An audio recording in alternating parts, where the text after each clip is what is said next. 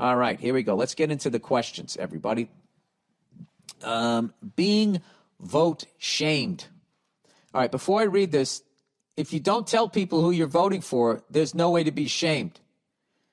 All right, I, I want to start a movement where somebody asks you who you're voting for, you you should say, you should just tell them that that's rude. I don't answer rude questions like that. How dare you? How about you just go, how dare you? How dare you? What are you taking a fucking survey? All right. Uh, well, as a matter of fact, I am. Oh, really? Is my vote in your little circle of the fucking world going to make you have a good prediction of who's going to win or lose? Shut the fuck up. All right. Being vote shamed. Dear Billy, the wise, wise ass. Uh, this, this is the first elect. I like that. If I was a wrestler, that's that's what I would. If I was a manager, Billy the wise, wise ass. Uh, this is the first election I'm able to vote in. Congratulations. I'm 20 years old and I've been listening to you since I was 13. Oh, Jesus. Uh, I would load your podcast onto an iPod and listen on the bus to school. I really appreciate you not regurgitating everything I heard elsewhere in my life. You're a renaissance man, whether you like it or not. Uh, I got these young kids fooled. Uh, you know, I appreciate that. But, you know, you live a little more life and be like, nah, this is sort of the loud guy at a bar. Um, I read a lot and listen to non mainstream media. That's great. I re, I think he meant to say I recently, I, oh, I read, I don't know. It says I, I've R E A, and I don't know what it says after that. I'm just going to continue. I've made my own judgment about how debilitating the establishment is toward our country.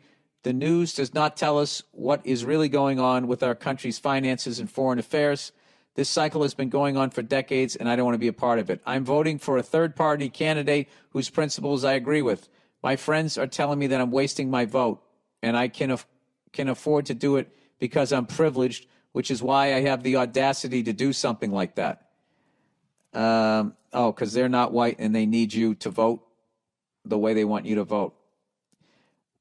All right. Aside from that stuff, there, I, I don't think voting for a third party person that you believe in that is actually an honest person and will hopefully stand up to the banks and the oil companies um, without getting whacked.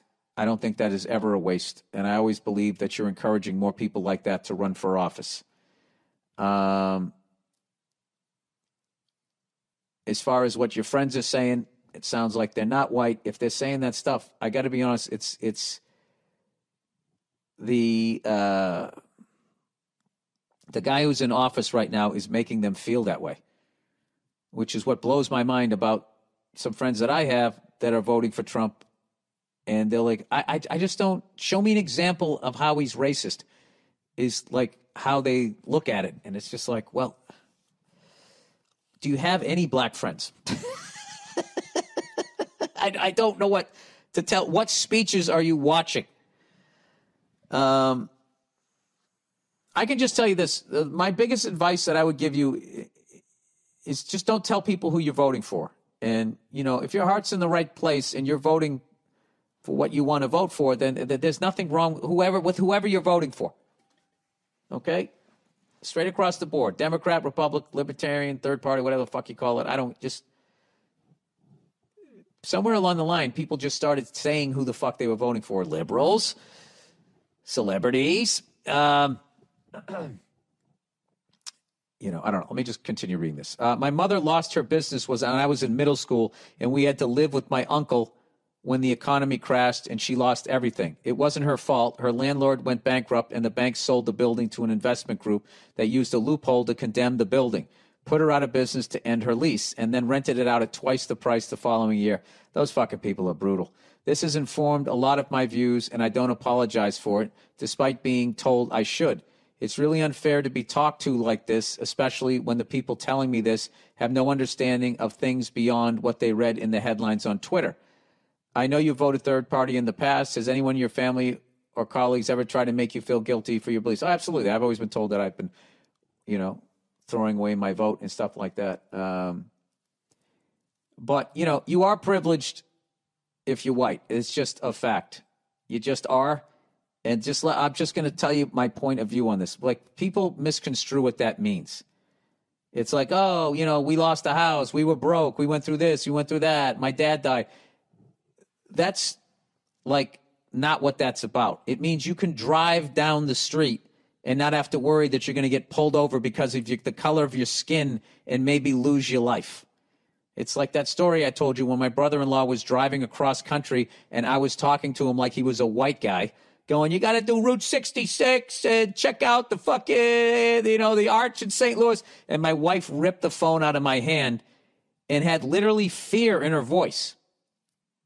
And all my brother in law was going to do was drive across the country. And she was like, was saying, only drive on the highways, only drive during the day, drive the speed limit, because she was worried that he was going to get killed just driving across the country. So that's what they mean.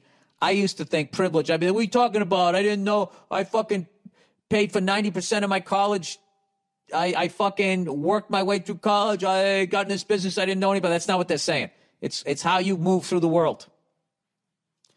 Um, is what it is. It's not your, your how much money you had or if you went to a private school or not. It just means that you don't have to basically worry that you're going to get killed by your own your fellow countryman just for fucking how you look. That's what it means. All right, there you go.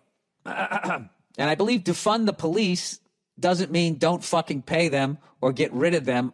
As far as I understand it, somebody please give a clear uh, definition what I understand of it is we got to stop dumping all the mistakes of society onto cops and have them deal with the shit every day. Like, why are cops dealing with mentally ill people? They should be in institutions getting cared for instead of having the cops have to deal with that on top of all the other shit they have to fucking deal with. So I think that that's what it meant. And for whatever stupid fucking reason, they said called it defunding, which sounds to me like, hey, pay them less or don't pay them, which is insane.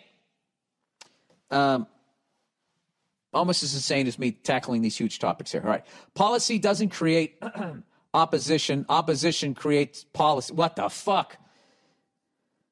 Got to read this 12 times. Policy doesn't create opposition. Opposition create policies.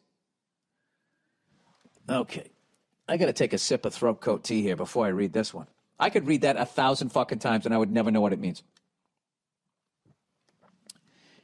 Um, hello, Bill. I am an admirer of yours, and I think you put in a positive contribution to U.S. pop culture. Um, all right, that was the most condescending first line of. I think you put in a positive contribution to U.S. pop culture. Oh, do you? Is that what you think? I don't. I just think I'm an idiot that a certain segment listens to for whatever reason. Uh, I think my subject lines up with your philosophy in quotes, or at least it doesn't contradict it. I don't even know what you're doing. You're you're beyond me mentally. I don't know what that means. Policy doesn't create opposition. Opposition creates policy. this is like chicken or the egg. So if you some oppose something, they create a policy to make it to outlaw opposing it. Is that what you're saying? I don't know. Can you expand on the idea that people don't really have genuine political opinions, but rather have an innate propensity to get into arguments? And that this is really what 99% of political debate in the U.S. and everywhere else and at every other time has been. Like if my parents are liberals, I'm likely to be a conservative just to piss them off and vice versa. And if I'm not, what kind of a pussy am I? You know what I mean? No, because if you had parents that you liked, I think if your parents are assholes, you just you, you do stuff like that. Anyway, people are way less rational and way more emotional and confrontation, confrontational just for the hell of it, right? Uh, I don't know. You're speaking vaguely or above my fucking brain. I don't know what you're saying here. Um, I will say that, you know, most discourse, is that the right word? It's just become people screaming at each other, which I've done a couple of my relatives about politics, and, and, and I said like 12 times during it, we're not going to change each other's. This is such a fucking waste of time, and you still do it. Um, I don't know. No matter what happens tomorrow, I I just gonna. I don't know if I can have half the vibe that Travis Roy had when I met him that one time. I think I, I you, you can really make the world a better place despite if you don't like the person that's currently your your leader. You know what I mean? I actually saw something fucking amazing today. I was watching I turned on the TV and a preacher was on. And he was really good and I was listening to him. And he was saying the sum of your life and the impact that you have comes right down to basically the choices you make. And if you make positive choices, loving choices, that's the impact you're going to have on the world. And I was like, oh my God, I love this guy. I found a church. And then he goes, and when you accept Jesus Christ, I'm like, why do they always have to do that? Why can't they just stop right there before they introduce their guy that separates everybody? If you just accept this, if you just every every religion has a fucking guy or a lady, maybe they, I don't know, maybe they don't have a lady, and then it just just just stop right there. Because do I do I need to know the guy? If I did everything that the that you just fucking told me to do right before the Jesus Christ shit, even if I didn't wasn't aware of Jesus, if the guy existed and, and, and is really the son of God and I'm gonna fucking meet the guy, I mean, if I don't know who the fuck he is, but I lived a great life and I spread love and positivity and I helped people out and had a positive effect, I'm still getting in the club, right? I don't fucking know. I was literally watching the TV going like, holy shit. I finally found my 700 club guy that I can I can get into this. And when you accept Christ, it's just like, yeah, I don't need that. I just need the first part. Now you're having me choose teams. In every religion, people say what that guy says, and then it gets to that fork in the fucking road, and then it's uh, Yahweh, Allah, God, Buddha, and they just and then that just it somehow it, it divides people. What a surprise, right? What a surprise. People just start arguing and then they fucking kill each other. Just I don't know. We're morons. All right. Advice changing people around me. Hi, Bill. Big fan of you and your show. I've spent much of my COVID time listening and reopening my eyes to the manipulative rhetoric being spewed about men that I unfortunately have contributed, at least during my early adult years. As a result, I notice a lot of women my boyfriend is surrounded by, whether it's because they are friends or girlfriends of his, treat men and their men like garbage. Jesus Christ. Is this actually a woman writing this? This feels almost like I wrote it. Because of this, I don't feel comfortable being around them because when I try to stick up for their guys, when they do nice things, they laugh at me and then put me down. It sounds to me like you're hanging out with assholes.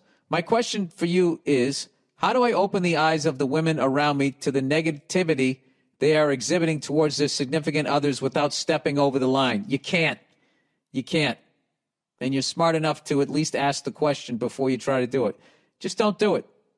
Don't do it. And hopefully those guys will be smart enough to try to find a woman like yourself if the way you're presenting yourself is true. Uh, she goes on to say, I don't like seeing these women complain and pick on their men when they do everything for their women, including cooking, cleaning, fixing things. Uh, I think in their eyes, I must come across as very traditional, but I think treating your significant other the same way you want to be treated, if not better, is a sign of your upbringing and what kind of person you want to be in this world. I 100% agree. Every man I have had in my life has made me the person I am today, so why would I want to stunt the growth and progress of people around me by exerting my insecurities and taking it out on them? Uh, this, this is written by a unicorn, male or female the enlightenment of this.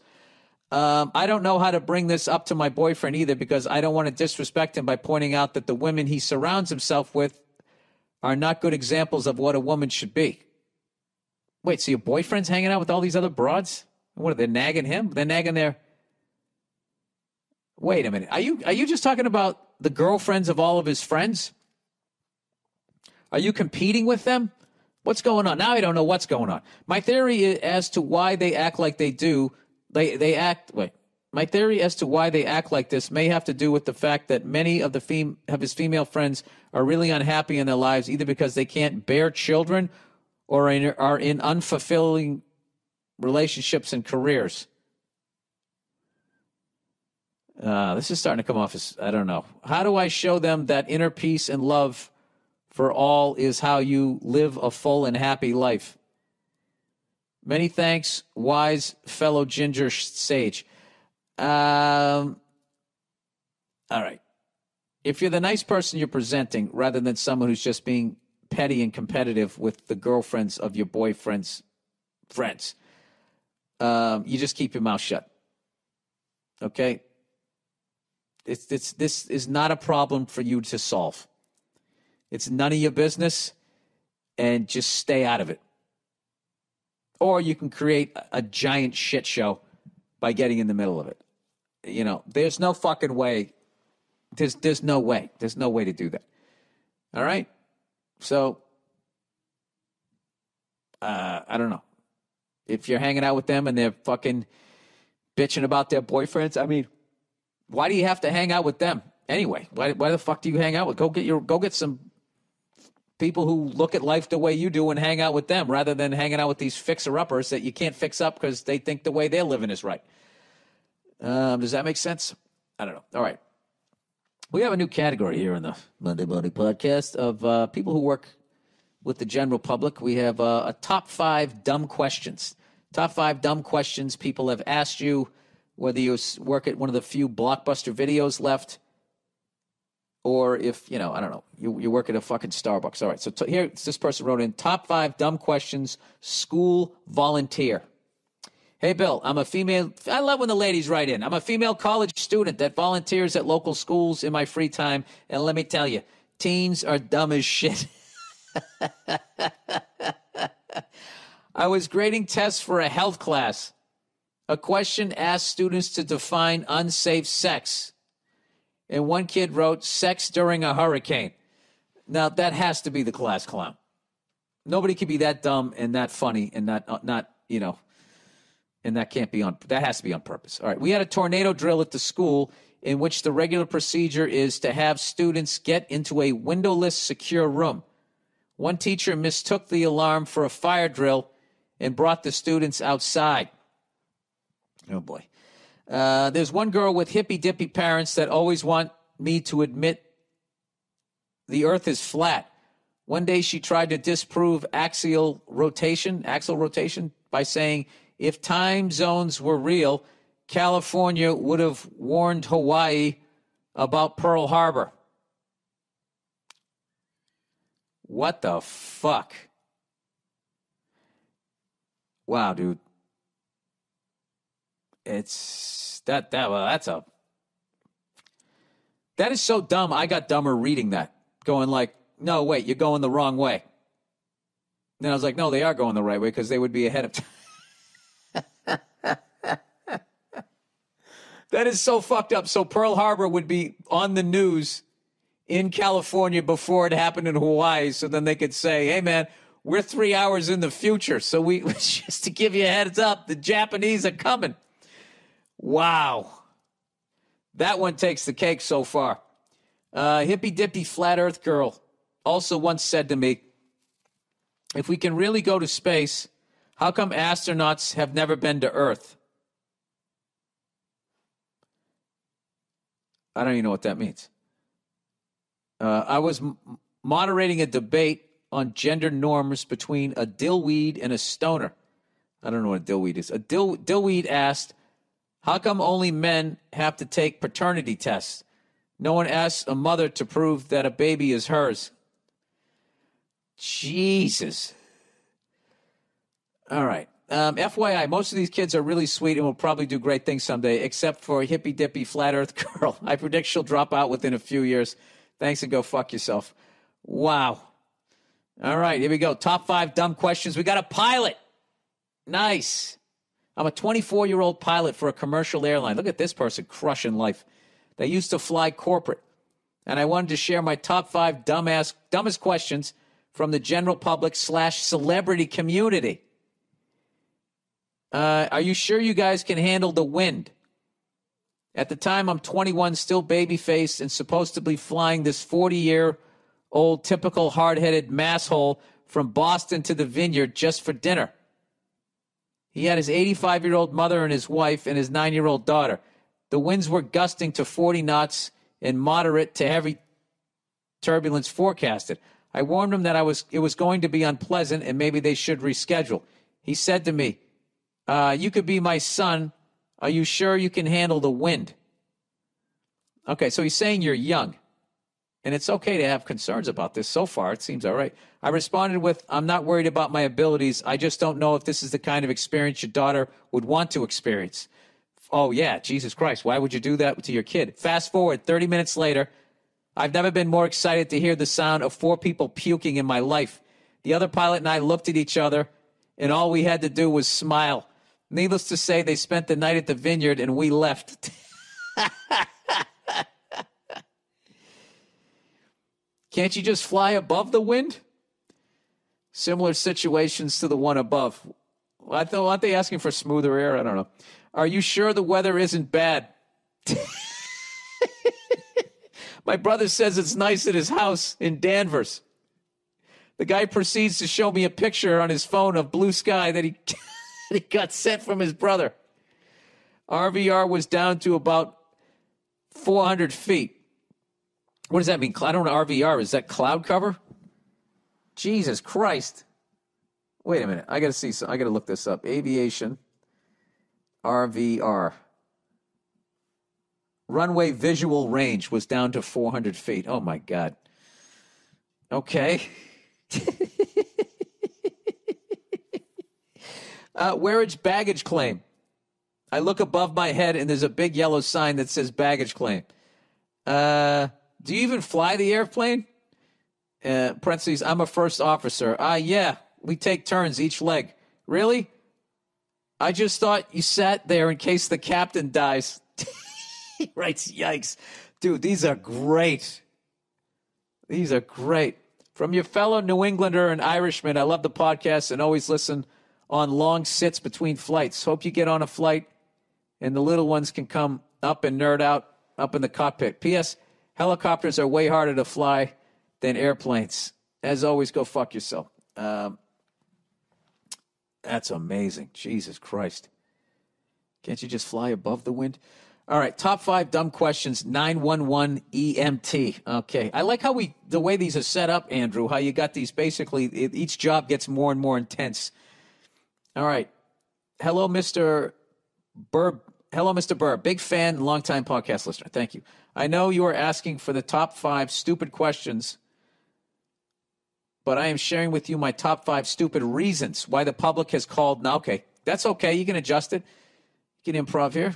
Top five reasons the public has called 911 as an emergency. I've been an ambulance operator for close to three years and have my stories, but these are the top five. Number five, wife called 911 because her husband was eating dog food. Gross, I know. He was apparently trying to tell her that her cooking was shit and he would rather eat dog food. this wasn't a handful of kibble, neither. It was straight out of the can, wet dog food. Wow. Number four, man called 911 because he was choking on food. All right, well, if he can talk, that means he's not choking. He can breathe, right? Well, you might think that that, that is an emergency call, but here is the twist. He was choking the day before and called 911 to have us explain to him why he was choking. He wanted us to take him to the emergency room so the doctor could explain to him the medical reason why he was choking on food. This was a 40 year old man. What the fuck? Now, these, these are making me feel better about myself. Number three, a woman called 911 because her electricity went out five minutes ago. We advised her to call the electric company. Number two, a woman called 911 because she wanted us two EMTs to force her two daughters to help her clean the house. These daughters looked to be in their late 20s. In her defense, the house was very dirty. Wow. Number one, a man called 911 because his mom is too fat. When we arrived, he asked us to give his mother medication that will somehow magically melt her fat away forever. That's in quotes. These kinds of calls makes for good stories, but takes us away from the public that actually needs us when seconds counts. Anyway, big fan and congratulations on your beautiful family. Your friend on the boo boo bus. That's great, the boo boo bus. Um, all right, what do we got here?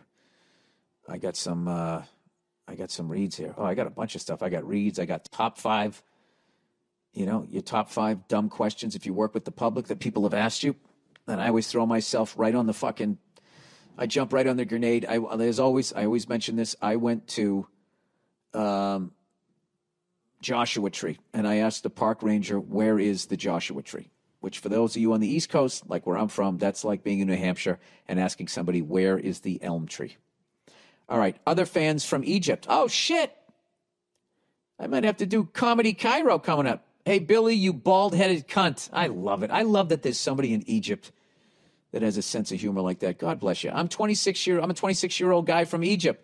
I heard on your latest, your last episode about the Egyptian architect that listened to 12 years of Monday morning podcasts in six months.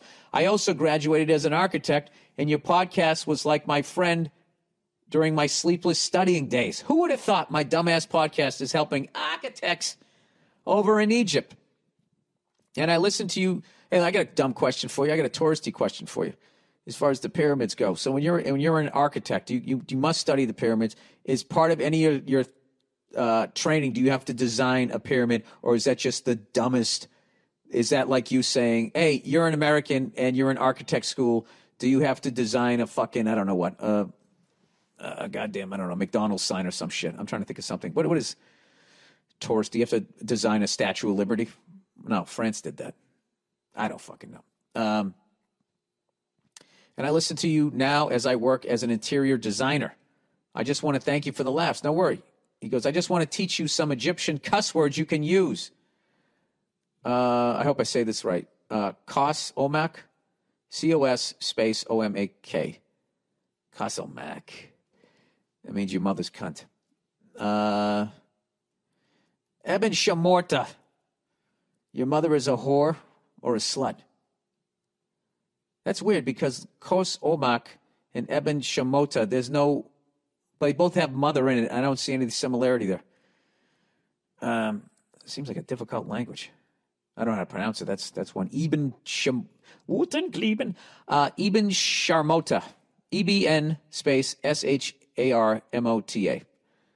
All right, that's good to know. I don't know which one of those I would use if I went over there. All right, your mother's a cunt. Um, I would say that if they drop me off too far away. Uh, that's that's the tough one though. Is that like go fuck yourself over there? I have no idea. I'm just psyched people from Egypt are listening.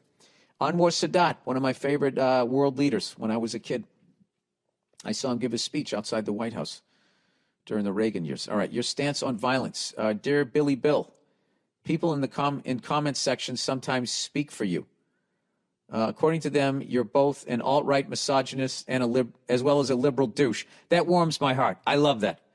People in LA think I voted for Trump. People in fucking a red state think, uh, you know, I'm a Biden guy or whatever. Uh, this isn't new at all. I've seen people fuck up categorizing you for a while. Yeah, I'm, I'm part of the contrarian party. Uh, one argument that was interesting was whether or not you condone violence against Trump supporters. I don't condone violence against anybody. Um, I voted for Joey No Pulse. Yeah, we'll say this about fucking Joe Biden. He's already getting some great nicknames. Forgetful Freddy, that was mine. Joey No Pulse. Uh, Bloodless Magoo. I mean, the guy's he's the he's like I don't know. All right, let's just let's just plow ahead here. Um, I voted for Joey No Pulse, but I'm also not going to sucker punch my uncle for voting for Trump. Uh, do you agree with this nonviolent stance for the commenters at home? Thanks and go fuck yourself. Um, I'm only getting half the story here, and all of a sudden you're getting. Do I agree? Do you? No, I don't condone attacking people for their political beliefs. I don't condone bringing politics up when people are just at a party trying to have a good time. Although I am guilty of doing that, um, and it's always something I, I literally just overheard and didn't research. Um, But, you know, that is the internet. The internet is, you can just say whatever you want and say, people go on and, you know, they do reviews of my act and they say what I meant by jokes. They say why my jokes work. And I look at them and they're hilarious because none of it is right. None of it makes any fucking sense. And they're not comedians and they're just speaking. See, the reason why this joke works is because of X, Y, and Z. What he's saying with this joke, it's just like, you know, you, or you could just fucking ask me. I could give you definitively. Well, why, why do I need to ask him? I have all the answers. Um, all right, future government. Oh boy, oh boy, this is gonna get this is gonna get deep here. Future government. Um, which, by the way, it actually rained out here. I was excited about that. Rained out here. It's getting cold um, for LA anyway, and um, that's a great thing. You know, we I think we got by the fire month. I believe I don't know, but I thought the Santa Ana winds were still coming. But maybe a little bit of rain will help people out. Um, I don't know. We shall see. Um, all right, but God bless anybody out there who's actually starting a company that's going to try to battle uh, global warming as opposed to ignoring it. Um, hey, you guys, send me in some companies that are into that shit if you guys have any, and I won't research it, and then I'll just read it as fact. Does that sound cool? All right, future government, everybody. Dear Billy Doomsday, have you been following along with this Build Back Better thing? No. Do I want to? It's a phrase that started showing up on the platforms of candidates around the world a few basic Google searches, and you can find where the money comes from. It's basically a collection of huge tech companies coming together with government agencies to transform society. All right, into something better? I don't remember voting for this, nor have I seen much about this on the news. Well, they never let you vote for any of this shit. I'll probably help pay for it through, though, like the rest of us suckers. They don't seem to be releasing much information, just vague initiatives about how to spend money to make things better. Do you think they'll be taking suggestions from average Joes like us on this better future? Does a guy who hates street level computing worry about stuff like this? Um, thanks and keep plowing ahead. Um, listen, I know where I fit into shit, and I, I am not the guy that's going to solve problems. So there's just people that are a level of smart that I don't think an average person like myself can understand. And it's up to them to use their. My gift is I tell shit jokes. That is my gift. I come to town, I do my jokes, I jump up and down, I make an ass of myself, and you guys laugh and hopefully forget about your problems for an hour, right? That's my job. That's what I'm good at. There's super smart people that actually can probably help solve a lot of the problems that we have. And um, so I'm I'm hoping that that is going to be that they've put that together. I just, I mean that that is an unholy matrimony right there. Huge tech companies which seem to own a lot of the social media. I just feel uh, I don't know, I don't know. That seems like cameras. I'm sure they're going to sell it. Like this will. I will say if there is a. Uh, if there's a way to start cert, stop certain kinds of crimes, if they just use it for that, but you know they'll go beyond that. You know, if there's a way to stop like kidnappings and rapes and murders and people getting, you know, hurt and stuff like that. If they can use technology for that and the environment, I'm all for that. But I don't know. I yeah, I, I would definitely be nervous about where they're going with that. But I don't know if you want to have more freedom, uh, make less people. You know, it's when you, you seven billion, we're going to go for eight billion. They're just going to put us in stockades at some point. I mean, well, how, how are you going to keep all those people? you know, but back in the day when there was just a couple million people, you just fucking walk around. You didn't need an ID. You could do whatever the fuck you wanted to do. Um, all right, sinkhole. That almost made sense what I just said. All right, sinkhole. Hey, Bill, did you hear about this guy? Man falls into pit filled with rats after sinkhole opens on New York City sidewalk. Oh my God. Did you ever worry about them when you were living in New York? You know what? I don't, I don't um, walk on those subway grates and I don't uh, drive over. You know, when they're putting up a big building and they have those, you know, so they they got to put, you know, the sewage. Everyone's going to take a shit in that building. Where's it going to go? We got we got to put it where the dolphins are.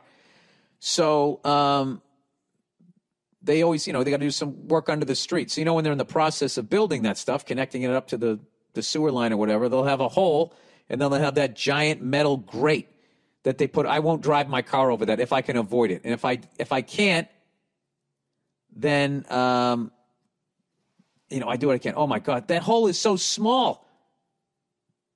What in the fuck? One man will have nightmare fuel to last him a lifetime after New York City sidewalk opened up beneath his feet, plunging him into an underground vault filled with rats. Dirty, furry, scrabbling, hungry rats. Oh my God. That's like some Indiana Jones shit. Wait a second. You guys want to hear this? This is way more interesting than I'll ever be. Hold on a second. Let's get back to the beginning of this video. Police say the victim was transported to St. Barnabas Hospital in stable. Oh, forget it. I thought they were talking to the guy. He was in stable condition. The horrifying incident happened on Saturday, October 24th, near a bus stop in the Bronx. Surveillance video shows Leonard, 33, was waiting at the stop when a sinkhole opened beneath him, dropping him 3.7 meters to 4. Okay, that's 12 to 15 feet down into a rat's lair. It's like he didn't break his legs on that fall. Um, in other news, two murder hornet queens captured in Washington state sting. What the? f- That's really clever writing there. Uh, he went down feet first. His mother, Cindy White, told NBC he was just standing and the sidewalk just, it was like a suction, like a sinkhole. He just went down. Shoulders, face, shoulders, face scraped the concrete as he fell, and he hurt his leg and arm on the way down, his brother told CBS New York. But that wasn't the worst of it. Shoulders found himself alone in the dark with the teeming horde of vermin, unable to escape or call for help. He ultimately spent 30 minutes in the chamber with the rats. Rats crawling on him. He can't move. He just, it was so bad, his brother said. He didn't want to yell because he was afraid there were going to be rats inside of his mouth. Oh my God. Bystanders called for help, but it took some time for the firefighters to pull shoulders. Oh, he didn't scrape his shoulder. Shoulders is his name. I thought he was saying he scraped his shoulders. His name is Shoulders.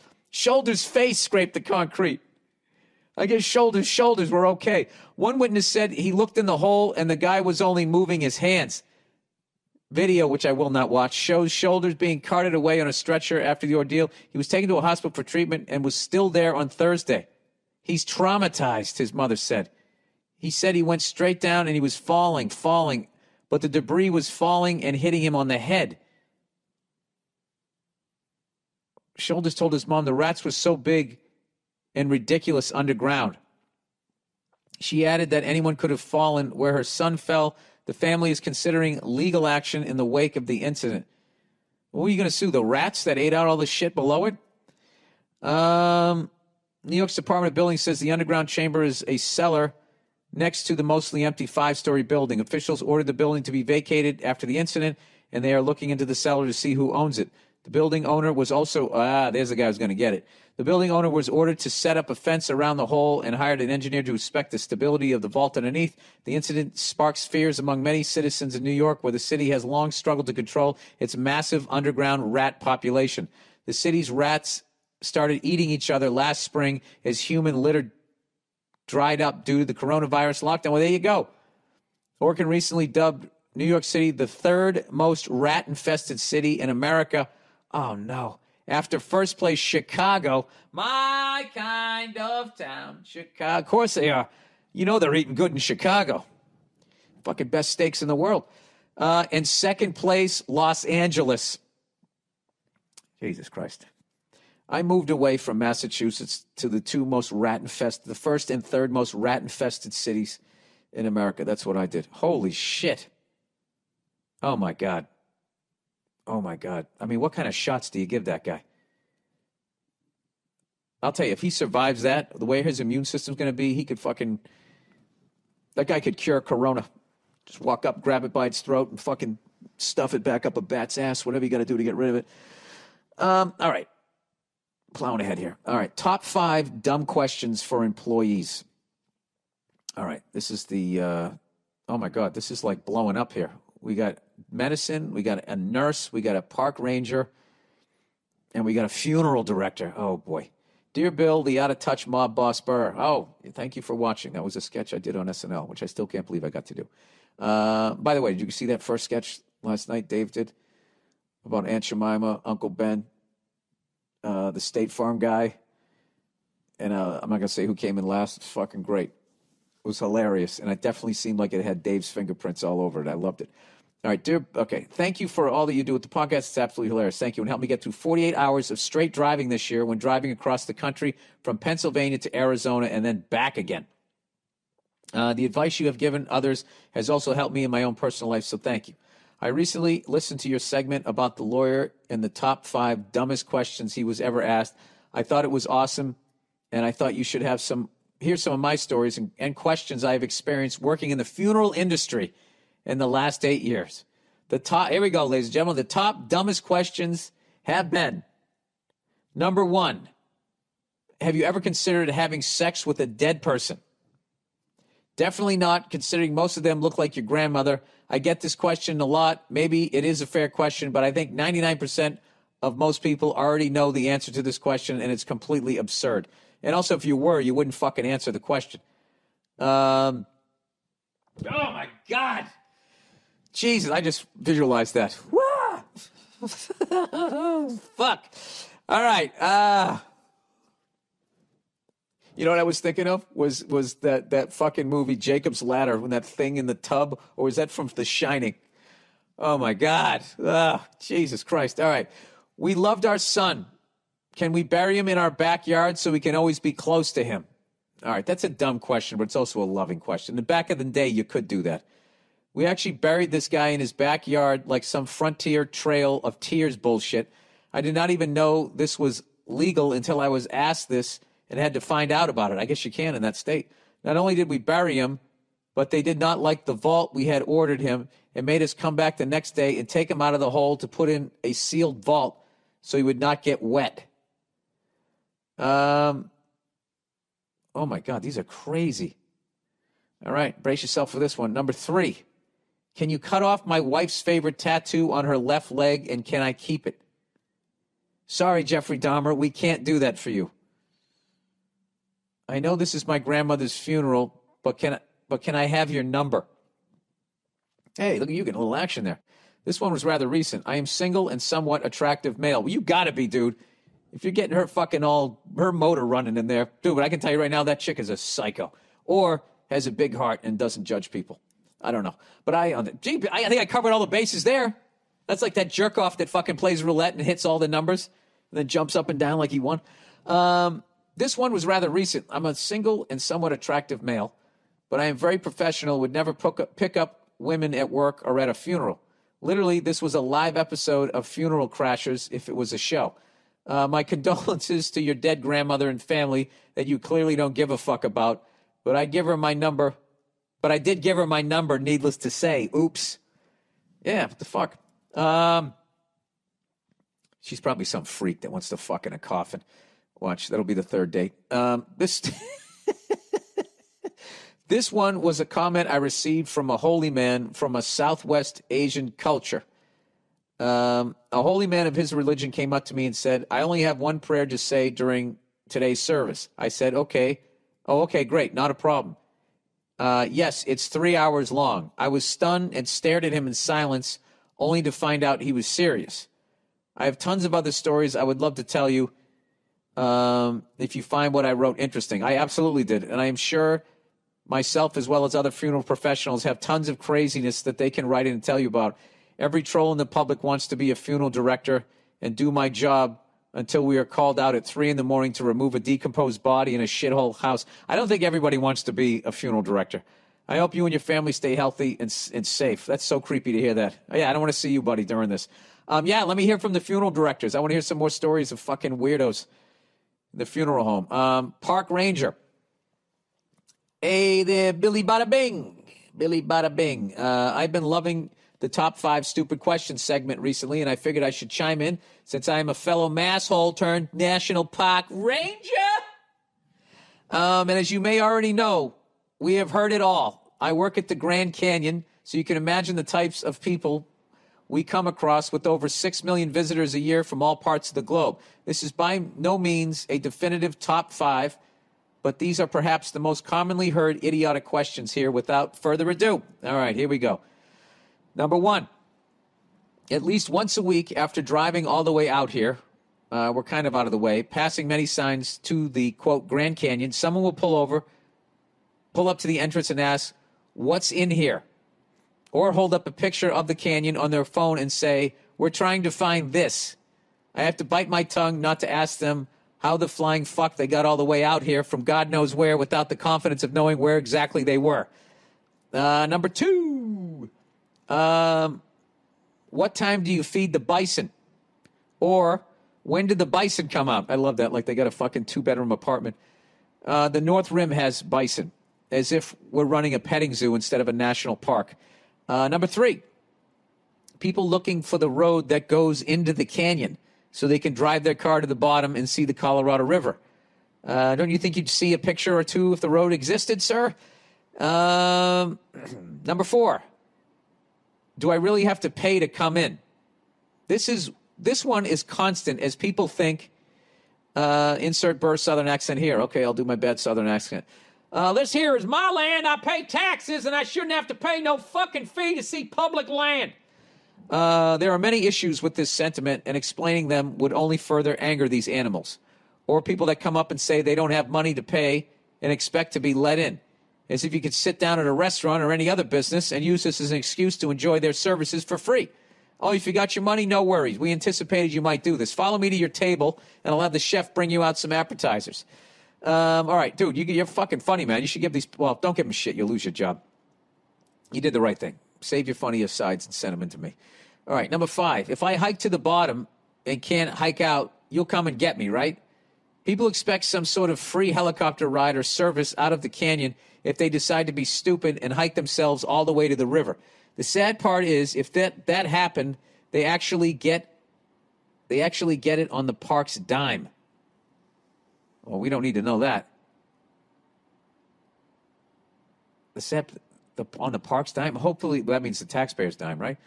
Hope these were mildly entertaining, and I'd like to mention, so I don't get fired, that these views are my own and in no way represent the views or opinions of the Park Service. I love everything you do and send my best to the lovely Nia and the little Burrs. Come out to the canyon for a private tour anytime. Peace, love, and go fuck yourself. I haven't been to the Grand Canyon in forever. I went there in like 94. All right. But I've flown over it a zillion fucking times. So I feel that's. I would hike down to the bottom, though. On the way out, I, I could do that. Oh, Jesus, Bill. All right. You can already hear the helicopter. All right. Nurse. Hey, Billy, ginger seasoned tits. ginger seasoned tits. Ah, just in time for October, November. I'm a 27 year old RN from Minnesota, registered nurse from Minnesota, who works for the last five years at, I'm not going to say where, where a majority of what we do is colonoscopies. Here are probably the top five questions I have had from some of these fucking, these fucked up patients. Number one, Is it bad? Oh my God, I had to read this before I said it. Number one, is it bad that I've been cutting up Dove soap bars into small pieces and putting them in my butthole to keep the worms away? Number two, if I put my finger in my butthole and circle it around during showers, does it help prevent hemorrhoids? What in the fuck? People just say this. Number three, uh, did you think my uterus looks sexy today? We didn't check that or close to that. LOL. Number four, does the butthole connect with my psyche? What does that even mean? Number five, did you see my butthole? Did you see my butthole? what the? Just a medley of what comes to mind, but I'm sure you can figure it's quite a variety pack of people rolling into this butthole clinic. Love you, the family, and your sense of humor. And your sense of humor is not like anything else by a long ass shot. Take care. Uh, nurse so and so, a religious listening lady. What in the fuck? Did you see my butthole? Did you see my butthole? Wow. I didn't think anybody could top uh, "Where is the Joshua Tree," but they seem to be doing it quite, quite easily here. Um, all right, plowing ahead. Medicine. Hey, Billy, bleached butthole. A lot of butthole shit this week. Uh, I work in medicine and thus have encountered some very uninformed individuals. As everyone needs medical care, idiots included. Now, I don't look down on these individuals as they lack medical knowledge, parentheses normal, and importantly, are anxious about their well being in these situations. These settings, sorry. Top five questions, statements I've encountered in medicine. All right, number five, young male adult who comes in complaining of large amounts of bright red blood in their bowel movements. That's scary.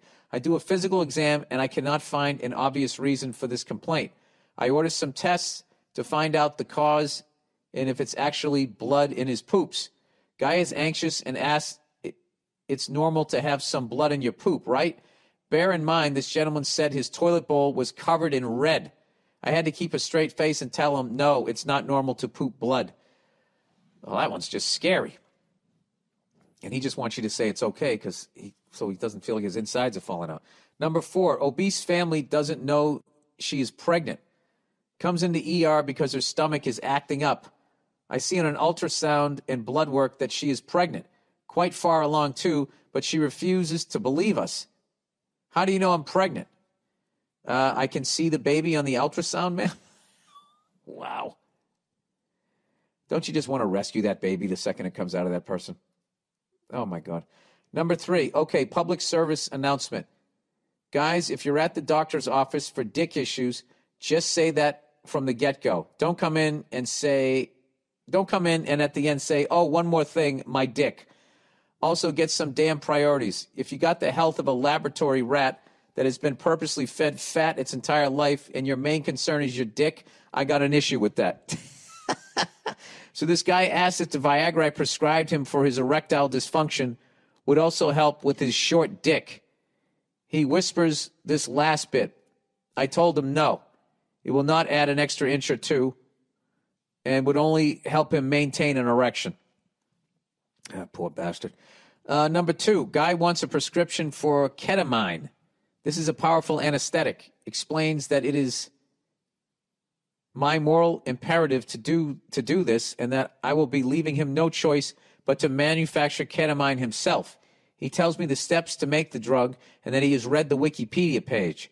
I wish him good luck in his venture to manufacture the drug. all right. Um, all right. Opioid overdose. Oh, that's sad. Comes in via friend ambulance. So somebody drives him there. Pretty much blue, starts CPR on him and give him Narcan. Wakes up and stabilizes. Five to 10 minutes after being conscious, he asks for some morphine. Nah, dude, you were dead like 10 minutes ago because of that. Wow. That fucking opioid shit. My God. Thank Christ I never fucked with any of that. Um, all right. Big fan from Bahrain. Uh, hey there, Billy Blue Balls. This is a follow up on the two fans who reached out to you from Egypt. I am crushing the Middle East right now. Woo! I am a 24 year old guy from Bahrain, and I've been a fan of yours for over seven years. How the fuck do you know who I am? That's unbelievable. I'm about to graduate from college with a degree in English literature, and your podcast has made my journey a lot easier. Oh, God, I'm sure you know every English curse word. Listen to this thing. The two architects from Egypt said that they listened to you while studying. I couldn't do that because reading the incoherent ramblings of Shakespeare and Fitzgerald wouldn't let me focus on your poetic language. I hate that shit. I hate Shakespeare. I respect Shakespeare, but I fucking hate it because I don't know what they're talking about, and it makes me feel dumb. So it has nothing to do with my fellow William here. I just, it's just, you know, I can't even read the fucking Constitution. Um, all the best to you. Forget about the Bible. This isn't the way people talk now. That's how dumb I am. All the best to you and your beautiful family. May you, maybe you can visit Bahrain once to watch an F1 race. I would love to do that. Listen, guys, this is what I need you guys to do over there.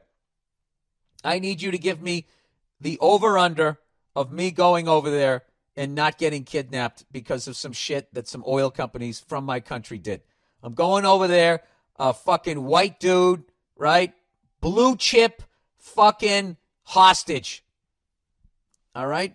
I know we didn't do something. You got to you got to like uh you know what I mean? You know, you guys all look at America and you just think it's a bunch of people going, yeehaw, shooting a fucking gun in the air, eating a fucking pie, riding on a four wheeler. You know, there's there's a there's a whole bunch of different shit going on over here. So what? Please, people from the Middle East, please keep writing in and telling me about. uh Tell talk to me about everyday life over there because we don't know anything about. They don't fucking tell us anything over here. Um, all right. Love from Morocco. All right. Hey, Billy Crimson Balls Burr. Look at this shit. Look at how, how much- you know what I'm doing right now? You know, I'm going to pat myself on the back. I am humanizing all of the world because look at them all breaking my balls just like you guys do here. In fact, some of the best ball breaking I ever got was when I went to India. And of course, Ireland and Scotland, but I knew that was coming. But all right. Anyway, hey, Billy Crimson Balls Burr.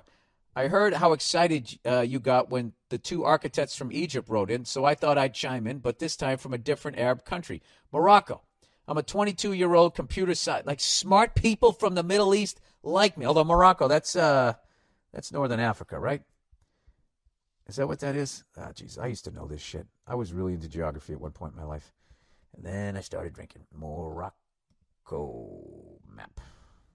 Is that near like Algeria or some shit? All right, here we go.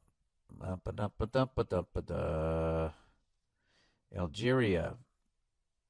Uh, what the fuck? Uh, you know, can you just show me a image? Just show me a picture of it. Oh, there it is, right next to Algeria. Crushed it. Oh, wait a minute. Now, does Morocco have? uh You played it for her, and I played it for me. Isn't that where that is? Wherever, wherever Humphrey Bogart was. Casablanca. I don't know. Anyway, well, at least I know where you are. I know where you are, and I stopped myself before I said something really dumb there, like, "Hey, it's in the Middle East." No, it isn't, Bill. All right. Uh, all right. I heard about blah, blah, blah. Morocco. I'm a 22 year old computer science student from Morocco, and listening to your podcast helped me get through my, the day a lot easier. I'm often laughing my ass off listening to you rant about stupid shit while I'm nerding out in front of my computer. I uh, just wanted to ask you, since you've been traveling a lot in recent years, have you ever been to Morocco? I haven't. If so, what did you think of it? And if by a long shot you'd ever do a show in Morocco, I wouldn't miss it for the world. Thanks for all the laughs and go fuck yourself. Yeah, I mean, I don't think that we've been fucking with you guys, have we? I mean, that's that's how I travel. You know, I, I gotta you gotta look up like what in God's name did we do to you guys? All right. Um, would I do that? I mean, I can't do it during COVID, but yeah, fuck yeah. I've never been to Africa, never been to that continent, so uh, that's something I'd like to do. I really have no desire to go on a safari in South Africa because I feel like we've already taken over all of their land. They have this little patch left, and now we're going to be driving around watching them fucking eating each other in on jeeps. It's like, why don't you just fucking leave them alone? Um, but having said that, um, you got to give it up to Africans. The, the level of fucking animals that they have in that on that continent and they survived is fucking unbelievable. You know what I mean? Like I sit there, I get freaked out. Like when I, I, if I go on like a hike, you know, there's places in L.A. where you can actually run into bears. So I, I I'm not going. You know, there's like fucking mountain lions and shit. Like yeah, I'm not. I'm gonna stay on a fucking elliptical. I'm gonna walk around a block. But I saw this thing one time about a tribe in Africa, and they are so good at killing lions that the lions see them coming and they run away. And all they're coming out with is they got a fucking, you know, it was a spear and a, and a shield. And they walk right up to the fucking, the dude lion. And it's, it's just over. They got like this thing. It's, it's weird. They look like riot police. They come up they got the shields in front of him, And then some dude just fucking fires a spear, goes right into the lion. The lion's like, oh shit, what the fuck? And by, and then they all just, it's over. It's a quick fucking death. And, um, and they're going, and they're on foot, walking out on foot, like, all right, you guys want to eat lion tonight? And they just go out and do it. It's, it's pretty badass. But anyways, having said that, like, I really like, um, you know, as much as I fucking eat cows and chickens and pigs, been trying to lay off the fish. Um, unless it's some man-made shit. I'll eat a man-made salmon at this point. I'll roll the dice. I don't give a fuck. You know what I mean? And actually, in a lot of ways, it's probably more healthier than the than the uh, the other shit, the wild salmon, because you know what the how much we polluted the fucking oceans. I don't know. I can be honest with you guys. I don't even know what I'm talking about right now. But like you know, the big game shit. Just just I just wish that like there was a way to kind of give them some of it back. You know, lessen the populations around the world. Let the fish have the ocean again. I'm getting really fucking hippie here, but we, we really are just like, you know, what did Bill Hicks say a long time ago? We're a virus with shoes. We really are. Um, I remember Joe Rogan had this great blog that he wrote when he was flying over the country. and He was looking at the cities and just saying we were like a fungus. I don't think we're all bad, but like we should definitely, I don't know, try to reel it in a little bit. Um, I would absolutely do a show in Morocco. I hope we get to a point at some point where you know we get a cure for this shit and stuff opens up again. Why the hell not? Seems like a beautiful place. All right, Egyptian architect in Japan. All right, dear Billy, no liquor. I know I'm coming up on two years, everybody. November 24th, two years. Um, I don't even think about it anymore. Although the other night I, I watched somebody Oh, I watched this fucking unbelievable movie that my wife loved and I had never seen before. It was Matthew Broderick and Reese Witherspoon were in this movie, and it was about a teacher that gets fixated on this student and he's trying to stop her from achieving. It's um I absolutely loved it. But anyways, one of the one of the actors in there playing a dad was sitting there and he had a scotch or a bourbon and he had it in a highball glass, and oh, it, it was that time of night when I used to drink them. And I was literally, uh, I was laying on the couch with my wife, and my head like like popped up. It's like, oh, oh, I'd love one of those. But other than that, I don't really think about it. But every once in a while, you know, I started thinking about that dad, that character being like, I wonder if he can just have one. Just has that one. He sips on it, you know. I don't know. Um, thank God I got kids. That's what I always think of. Anytime I get tempted, I go, Do I really want to do this? No, I don't. All right. Um, Egyptian architect. Uh, Dear Billy No Liquor. I'm a 30 year old Egyptian architect working and living in the great city of Tokyo. Um, another place I'd love to go. I heard on your previous episodes that there is at least two other architects listening to your podcast, and I got to say, your podcast helps us push through hard tasks and tight deadlines. Um, that is unbelievable. Why my podcast? Is it because it's so fucking stupid? Um, gives your brain a break. Also, all of my coworkers at my company are Japanese. Parentheses. Well, no shit. Yeah, because you're in Japan. Except for two Polish guys who started working about a year ago. I introduced your podcast to them after they complained about how stressful it is working in an environment where everything isn't in your native language and that they feel drained at the end of the day. Needless to say, after I recommended your podcast, we would laugh our asses off at the jokes you make on the podcast, and it seems like it's helping them throughout the day. Look at these guys. Polish, so they probably they speak Polish, right? They go to Japan, they learn Japanese, and then they can speak English. Incredible people out there. It seems like it's helping them throughout the day. I myself had moments where I would cover my face so no one could see me laughing. And the first time you did the club uh, the Club W. Bush ad read. I had to go under my desk as I'm fi- and act like I was fixing something with my PC just so I could laugh my ass off. Wow, that was a long time ago.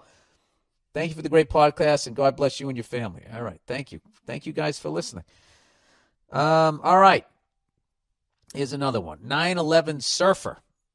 Hey William, you mentioned on your thir- Thursday, November 5th podcast that while in New York after September 11th, you heard of someone who rode the building down.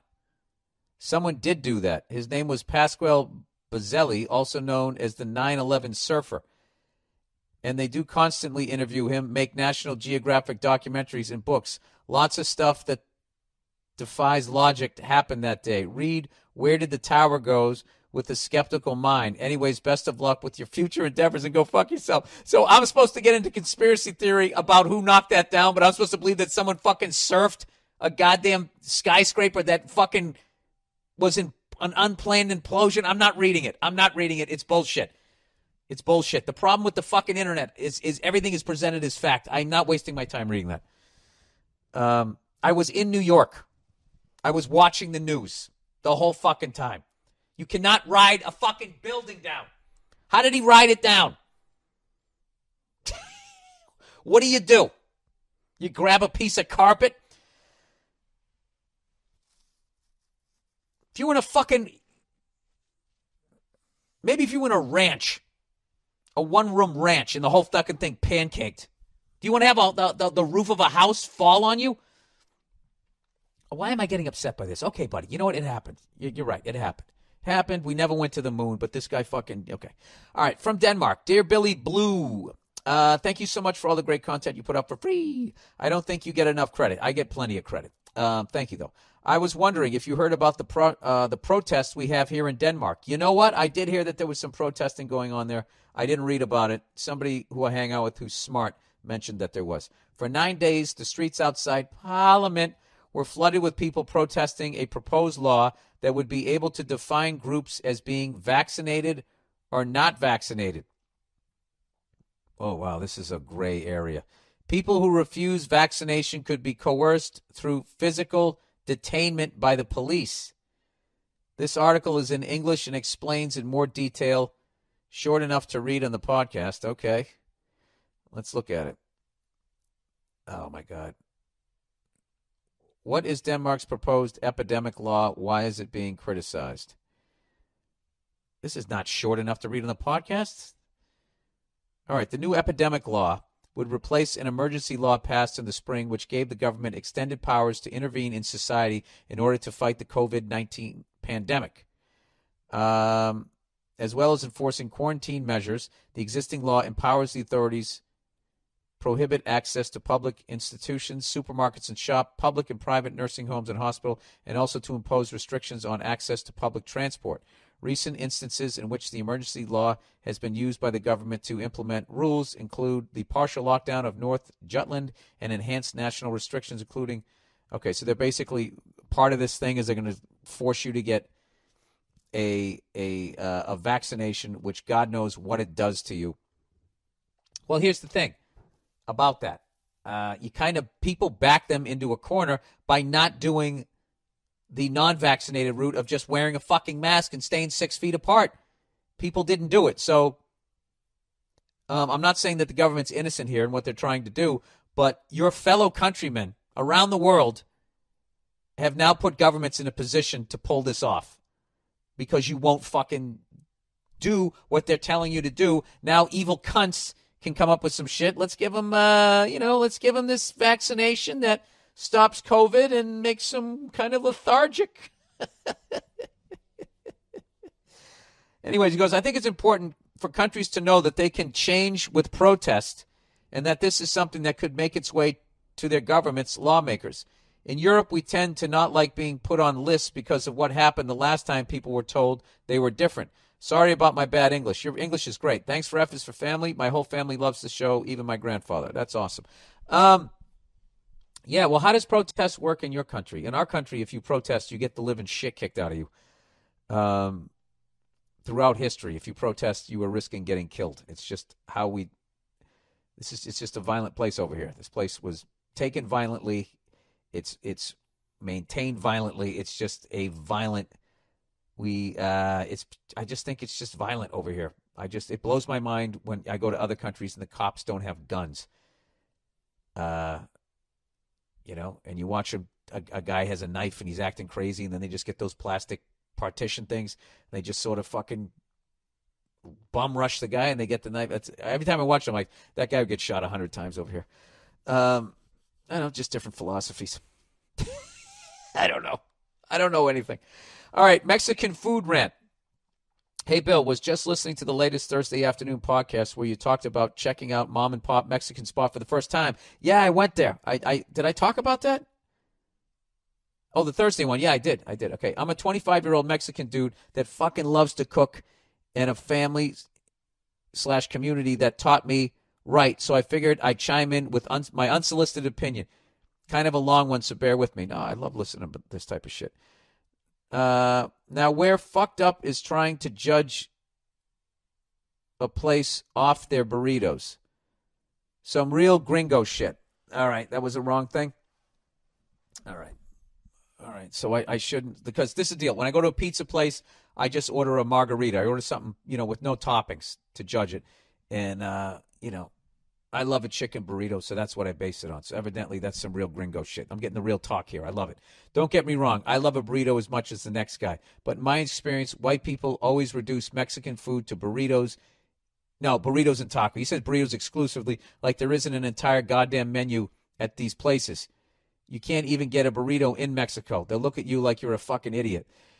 Um, well, you know, it's a whole new fucking cuisine. You know, you you dipping your toe in. I don't know. I get I get like it's intimidating. I don't know what all that shit is. So I I, I just stay at my safe place. I go Italian restaurants. Nine out of ten, I'm getting the chicken parm. Uh, Mexico is one of the most amazing food cultures in the world. The amount of crops we all take for granted that originated there is insane. Avocados, cocoa, corn, tomatoes, chili peppers, vanilla, to name a few. I love all of that stuff. Uh, chili peppers if they're not too hot. Uh, now I can't speak for the. When it gets so fucking hot, it just overpowers the entire thing. I feel like I'm at a party and there's 30 other people I want to talk to, but this one cunt won't shut the fuck up. I feel the same way about um, about what what is that shit? Um, uh, what was that shit that they were just putting in everything? Um, oh, I know it. I know it. It's right on the tip of my tongue. What was that? F- truffle oil is the same thing. Just overpowers anything that it's in. Um, and in Japanese cuisine, those that yellow paste, that egg shit, whatever you put that in, oh my god, it's just you know it's there. Ethel showed up. You know, I hate stuff like that. I like stuff that sort of like you know gets in the mix and is a good shit. You know, over by the fridge, tossing your beer, right? Um. Anyway, now I can't speak for the specific uh, place you went to, but I re- recommend you grab some tacos. Al Pastor. I'm going to say everything like a white guy. Next time you check it out, that's a safe bet most places. All right, good shit. Tacos are a better choice than burritos almost every time, actually. Way more flavor per square inch. I know white people think mayo is spicy, but don't be afraid to throw some extra salsa on there too. It builds character. Um, like I said, I don't mind if it gets a little bit hot, but if it's going to get like obnoxiously hot, my nose is running and shit, and I have to build a tolerance up for it. I, I mean, if I got to build a tolerance up, I want to be getting a buzz. You know what I mean? Um, some of my other favorites uh, to get at taquerias are tortas. It's a type of sandwich, and soppies, soapies. All right, this this this all my pronunciation here is for anybody Mexican listening, so they can laugh at me. Which are fluffy fried discs. Oh, did you fry it? What a surprise! Fucking lunatics! You guys even fry ice cream like it's not even fattening enough. Um, of corn dough topped with the usual stuff. All right, I'm going back to this place. You know what? You've inspired me. I'm going back there, and I'm going to order this stuff. I'm going to copy and paste this, put it on my desktop, and I'm going to go back and I'm going to order some of this stuff. Um, anyways, uh, I recommend just asking them what their signature dish is. If you're a seafood fan, Mexican seafood or mariscos is is the shit. Highly recommended looking into that whole world. All right. I could go on for days, but I'll leave it there. Well, you know what? Here's the deal. I'll go out and I'll try some of this stuff over the next month, and uh, then I'll check back in with you.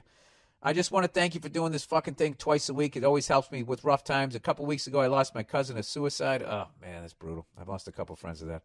He was my closest and oldest friend. A week after that, I lost my uncle on the same side of the family. It's been incredibly difficult, but your dumbass show has been a companion throughout. I know you'd be the first to say you're a fucking idiot, but I appreciate your perspective on life and hard times.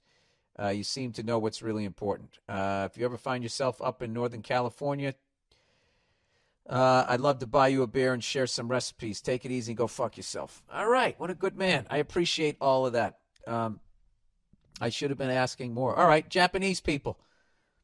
All right. When I go to your restaurants, I always get a spicy yellowtail hand roll and uh, edamame. I'm basic. You know, I find something I like and I, I stick with it and I try not to stray. You know, these are probably, you know, I bet most of the stuff I get are like Americanized Japanese sushi. So that's another reason why I got to go to Tokyo. I'm just going to cheat off other people when I'll just see what they're ordering and I'll go and get it. What I do every once in a while is I will go and I just, you know, if I'm with my wife, because she's more adventurous than I am when it comes to that shit. And if the option is there where you just have the sushi chef make what he or she wants to make, um, I find then I'll get outside of my comfort zone. But that's cool, man. That's actually, you know what? That's a good new um, segment for the podcast. Write in from different countries and tell us uh, how to order. All right. And I'll tell you how to order. You guys ask me your questions. Hey, I'm coming to America. Where should I go? What should I get? And if I can't answer the question, my other listeners can. All right, dumb dumb on, questions on the job. Here we go. Here we go. Here we go. Um, ballpark. Take me out to the ball game. All right, first time, long time, big fan. All right, just want to say thanks for all you do and for letting me feel like uh, there's at least one person out there who feels who who I feel is also riding that razor's edge of always just about to lose their shit, but at least but the last second calms down enough to just let it go. I, I try to do that. I don't do it too well. Wanted to share five dumb questions on the job working at the ballpark here in Seattle.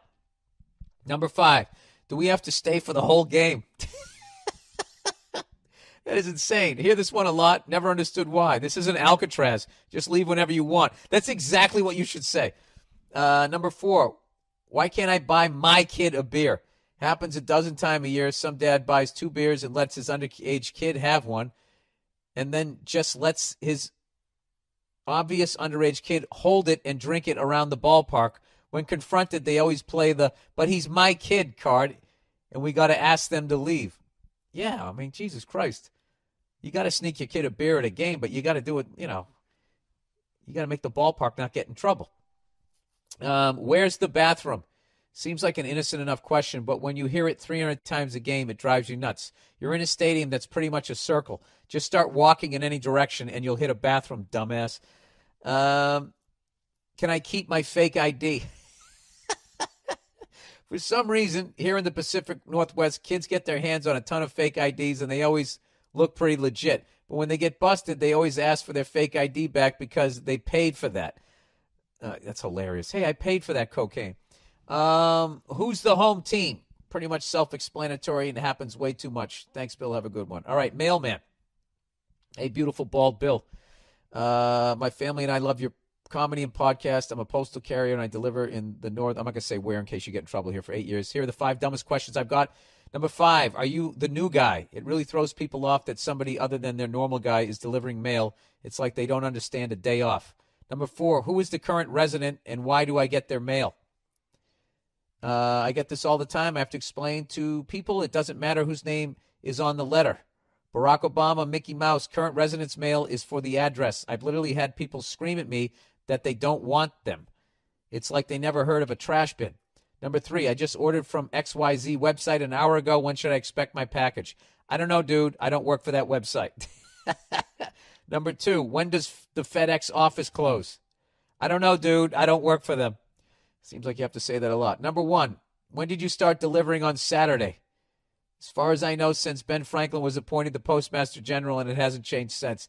You gotta love, you gotta love when you got the great comebacks. Quick bonus story: One time I saw someone put a duct tape wrench, a duct tape wrapped. Sorry, I'm just looking at my record. I think it's gonna sh- crap out on me here.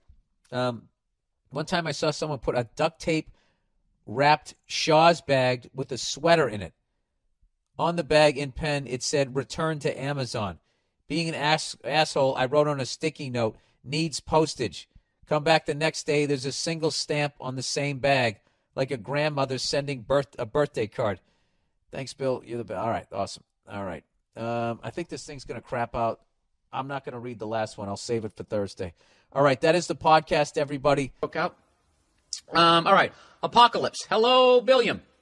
I am a dedicated podcast listener. I'm a big fan. I've noticed your recent musings on preparing for the apocalypse, buying guns. I haven't done any of it. I just think about doing it, and then Nia just looks at me and just shakes her head like you're out of your fucking mind. Uh, buying guns, learning how to hunt and survive when the inevitable human population bubble bursts and we run out of food and water.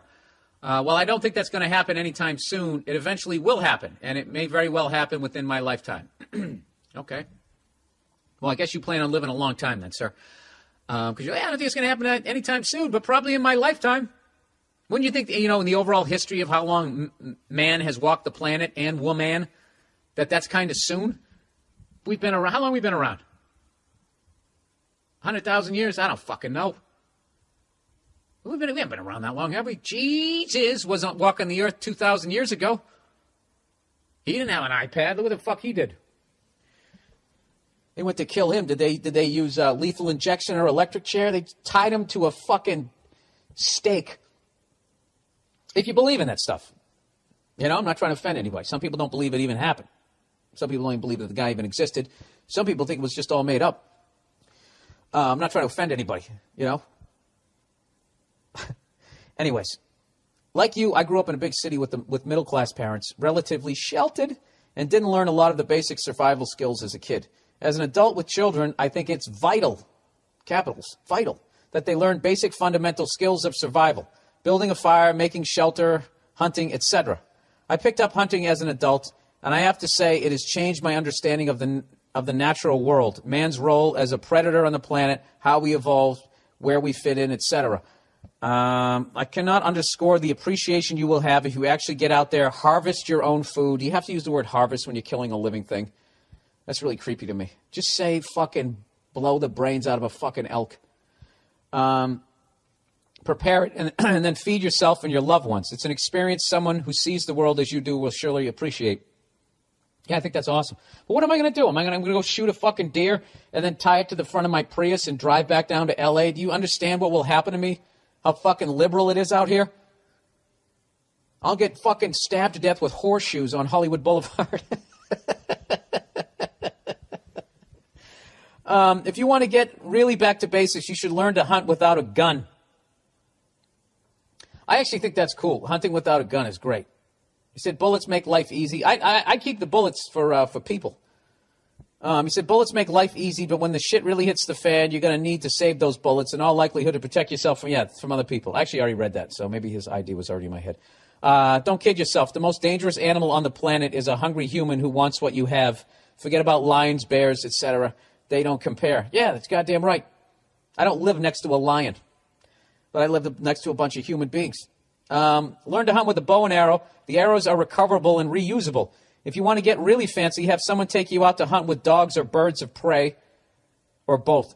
Dude, I gotta tell you, birds of prey freak me out.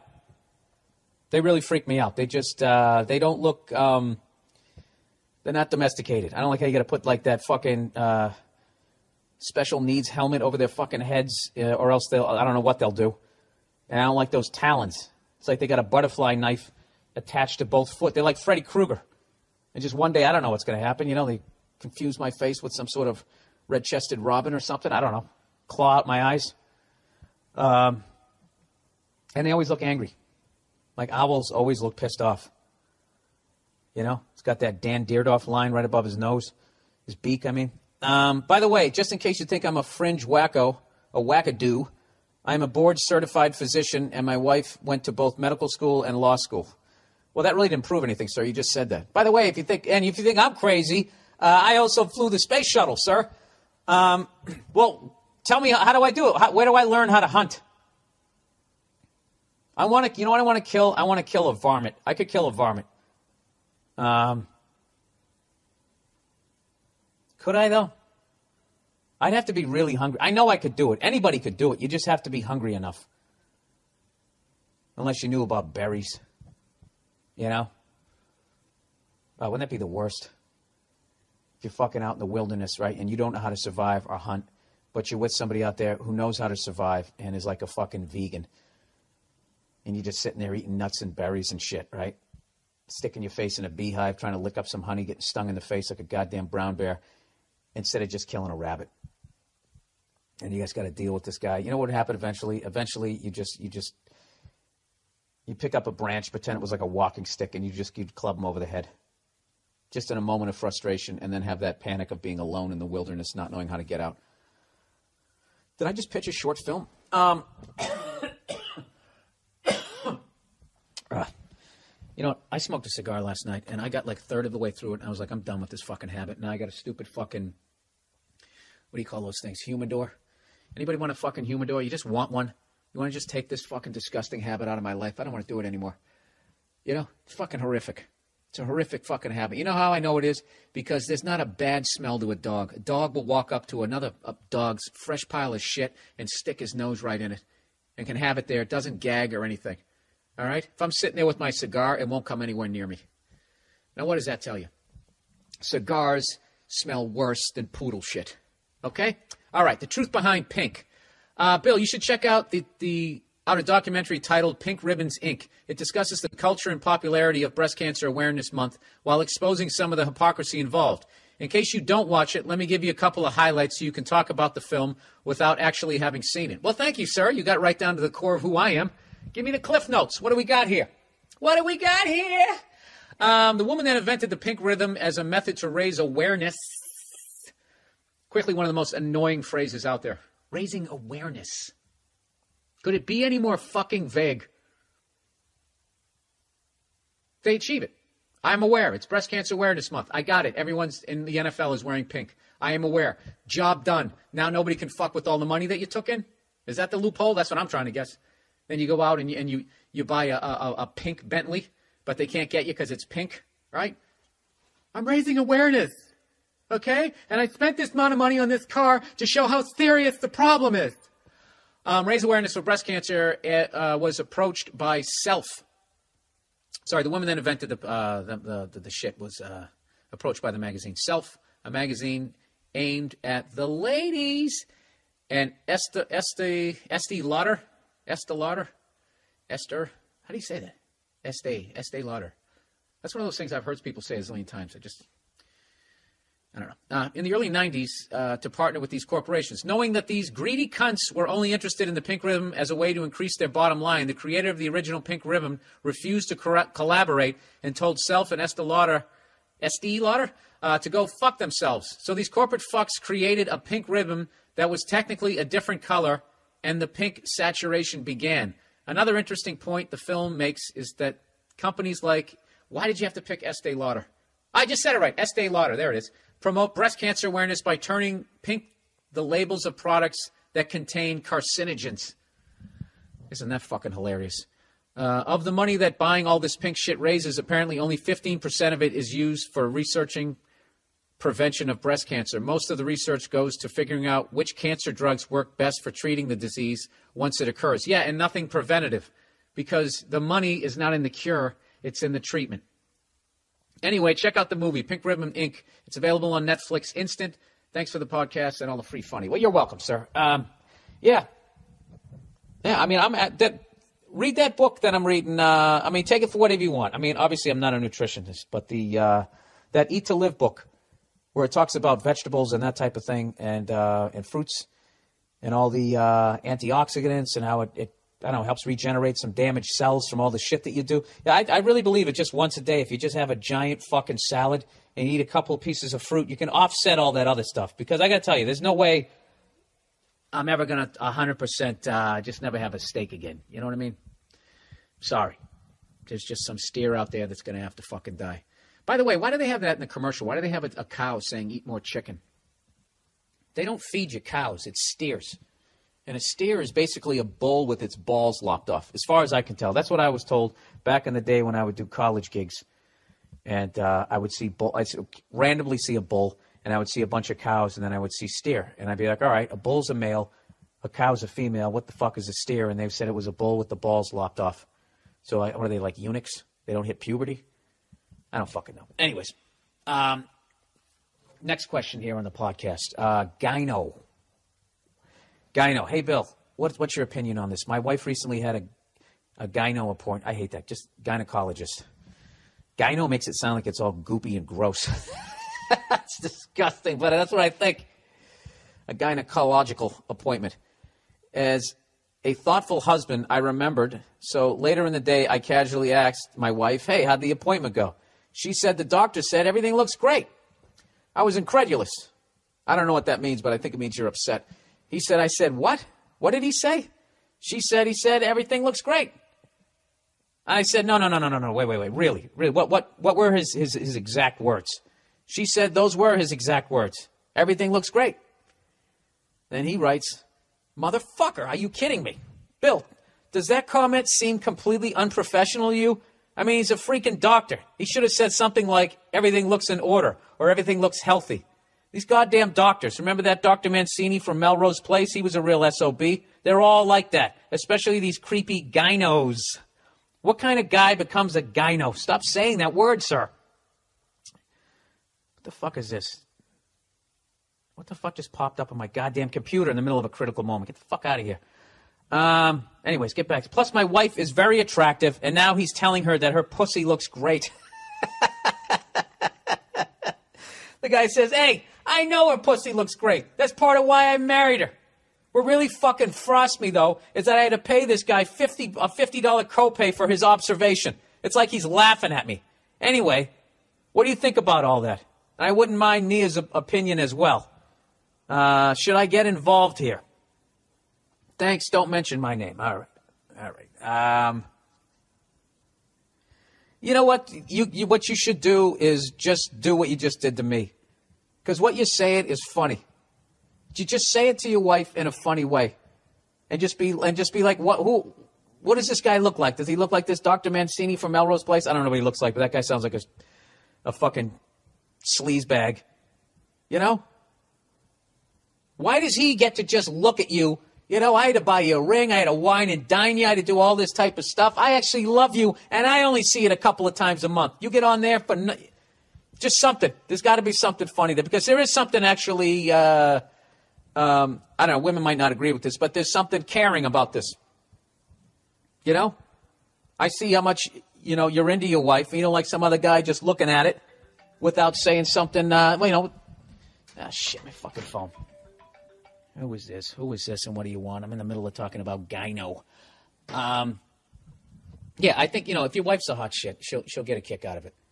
Like that's the kind of thing that would make uh, that would make Nia laugh if I ever said something like that.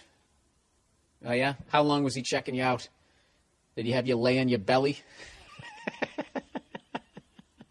yeah, I got to check the other side of the uh, the uh, your vagina. Just uh, on your belly, just lay on your belly and sort of uh, just point your, your your buttocks. They'd use like those those words so it didn't sound perverted. You know, at the ceiling. Um, oh, speaking of perverted, I can't even get into this.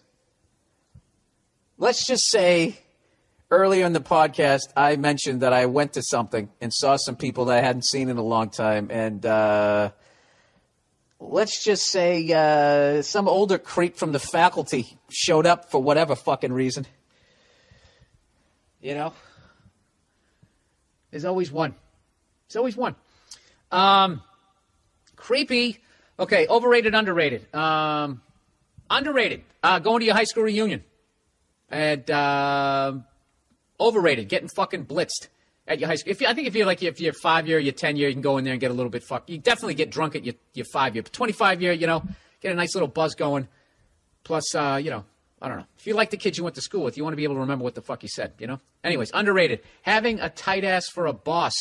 As much as everyone wishes that their boss wasn't such an asshole, it's about 20 times worse to have a cool boss that cuts corner, cuts corners and doesn't do their part. Yeah, then the company goes under, and then you're looking for work. Um, overrated. Bill, whenever you see a list of the greatest movies ever made, you will always see Gone with the Wind on that list, right?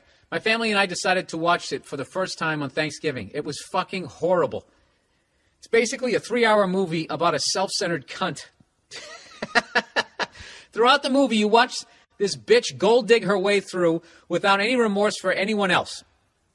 Besides the protagonist being unlikely, unlikable, the plot is fucking stupid. I, it really has no point. When the movie ended, I yelled, "That's it? That's the big fucking ending? Avoid at all costs. None of us liked it." Uh, I got. I have to watch it now. Isn't that the one where he ends? Frankly, my dear, I don't give a damn. That was basically the 1940s version of saying, "Yeah, why don't you go fuck yourself, you cunt? All right, you're gonna be old and your tits are gonna fall, and then where are you gonna be, huh?" Your hair teased up on all those goddamn noodles sitting here on the fucking plantation. What are you going to do then? Not even the non hired help will listen to you. So go fuck yourself, all right there, soon to be flabby tits. Okay? If you're not coming with love, all you got is your looks. Okay? There's no Botox at this point in, in, in, history. You're finished. All right? So why don't you get over here and suck this dick while you still can? And then, and they roll the fucking credits. All right, Neolog preview here, everybody. Um, this was sent to me. Hey, Bill, love the podcast. Back cataloging it like crazy. Thank you. Here's my fucking problem. I got a roommate who was wonderful. We're buddies. We watch stupid. You know what? Fuck this. I, I gotta make this. I gotta make this larger. This print is too small. Here we go. I've actually learned how to do this. Select everything. Uh, go up here. Go from 12. Let's make it fucking 18 like a grandmother. There we go. All right. I got a roommate who's wonderful. We're buddies. We watch stupid shit and laugh together about it. All right. Uh, he's got this girlfriend who's a drain on everything that is fun in the world. I'm not talking about the regular guy girl argument crap. I mean everything. Quick example. We were watching that BBC Planet Earth series and we were just joking at the most beautiful shit in the world. Literally, and all she could do is bitch about how ugly the birds were, complain about David Attenborough's voice, or get mad at some animal just because it's killing another animal to fucking survive. After we finished, she said she would love to be on the crew of a nature documentary shoot. She's got no soul. The guy loves her. They've been together for over a year, but it's so clear he can't stand to be around her. They only ever argue.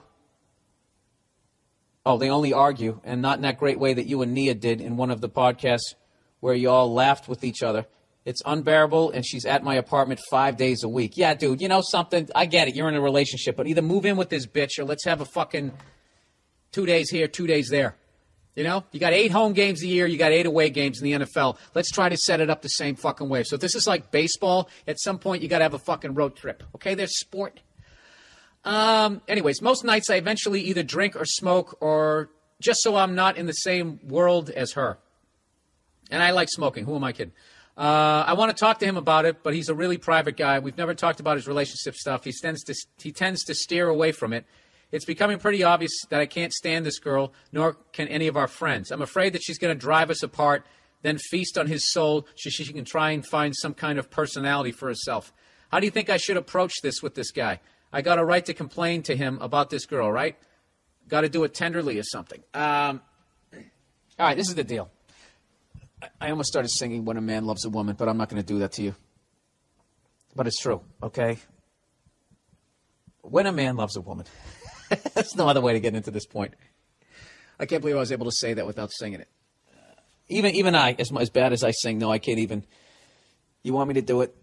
All right. When a man loves a woman.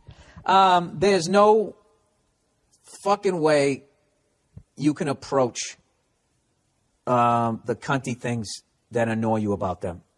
What you have to do is just walk into another room and just like literally just grab a pillow off of the couch. You know, after she says something, you just walk in the other room. You just go, and then you just come back in and you go, oh, so what are you majoring in? Right? You just do that. But you do have a right as a roommate to have some sort of parameters. All right? The problem is is you've let it get out of control. All right? So here's the deal. Either this dude's going to marry this girl or he isn't. Okay? He's going to marry this girl. Your guys, your friendship is fucking over. You're not going to hang out with him because he's, he's with this colossal cunt. You're going to meet somebody else. Then eventually you're going to get married. You're going to have kids. You're barely going to have time to see this person anyways, even if you liked his wife. Okay? But the fact that she's a cunt, she's just going to fade out anyways. Okay? So there's nothing to worry about there. Losing this friendship. If he's going to marry this girl, it's fucking over, dude. Okay? It's a done deal. All right? Um, and if he's eventually going to break up with her, whatever you're going to say to him now, he's eventually going to come around and he's going to be saying all the shit that you're going to say to him or want to say to him. So you don't need to say it. You just get you all what you really have to deal with right now is just trying to cut down the amount of time that that fucking that that that hell cunt comes into your apartment. Five days a week, dude. I don't care if you even liked it. Just say, listen, um, I respect you and your relationship. You know, I'm really happy for you. You seem really happy. But, you know, it's just, uh, oh, this is fucking hard. She's coming over here five days a week.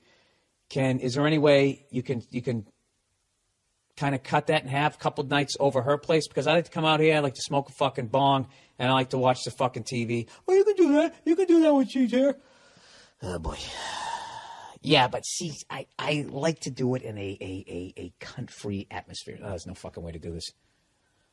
Um, you know what? You're just basically going to have to ask yourself what's more important to you? Your friendship with this guy or your your fucking uh, you know your ability to fucking have a beer and smoke a joint without this bitch fucking ruining your, you, you know five nights of your week. Okay? I would suggest this okay? If you still want to be friends with this guy you don't want to rock the boat then i would look for another place to live if you could which is fucking sucks. You got to pay to move. But i'm telling you you're going to be psyched. How old are you dude Maybe it's time you should fucking live alone. You know, because you might jump out of this, out of the fire, and, and, and, out of the fire into the what? And out of the frying pan into the fire? Dude, this is fucking rough. I don't know how to just say it. Listen, dude, I don't know how to say this to you because I feel like, however I say it, you're going to feel like I'm attacking you, and that you know you're going to say something to your girlfriend, and she's going to think that I don't like her, which I don't. Um, just say, listen, she's coming over here five days a week. She's not paying rent. You know, I like hanging out, watching TV. You know, I'm coming over here. She's taking up half the couch. I just need just. Can we cut it down to four days a week, three days a week? I don't mind her coming over here, just not five out of the seven days. All right. I want to come out here in my underwear, rub my balls, drink a fucking beer, and watch the game. I don't want to come out here, you know, dressed like uh, I'm a, on Father's Knows Best. You know, you know, back in the day, the fathers would walk around the house in a goddamn suit, right? You know what, dude? Sometimes you just got to burn a friendship. There's all different ways you can do that. You could just you could just be honest and just say, listen, dude, if if, if, if this fucking girl comes over here one more time, so do you like want me to cut it down to like three days a week? No, how about zero? How about you break up with her and realize you can get somebody better? How about that? You know? I don't know, So That that is definitely a rough one. I I, I gave you a number of options. Um, I would in no way say how you feel about that girl to your buddy. You can't do that. Um, I mean, you can't, but there's just going to be ramifications to that. But uh, I would definitely try to get that, you know, try to get that number knocked down. All right. Did I just say the same thing for fucking 20 minutes over and over again? All right. There's an hour. There's an hour for you. All right. That's the Monday morning podcast for this week. Uh, I'm going to be at the Brea